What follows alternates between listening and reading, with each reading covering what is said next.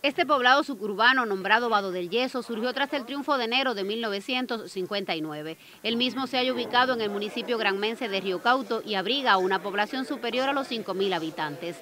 Hasta allí llegaron los máximos dirigentes políticos y gubernamentales del territorio para chequear in situ la calidad de nuevas obras puestas a disposición de los lugareños.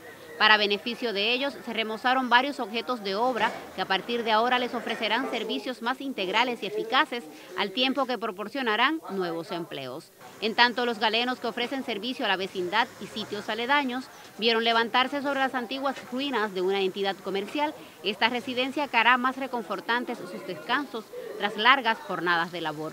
Los principales representantes del partido y el Poder Popular visitaron también la Policlínica Ernesto Guevara de la Serna, ejemplo de buen hacer donde se construyó un banco de sangre que posibilitará, entre otras ventajas, brindar mejores atenciones a los pacientes y cumplir planes de donación. Ya en áreas del Centro de Elaboración del CAI Rosero Fernando Echenique, la comitiva felicitó a sus trabajadores por el sobrecumplimiento de las metas productivas, mientras conocía sobre diversificación de productos alimentarios preparados a partir de la yuca.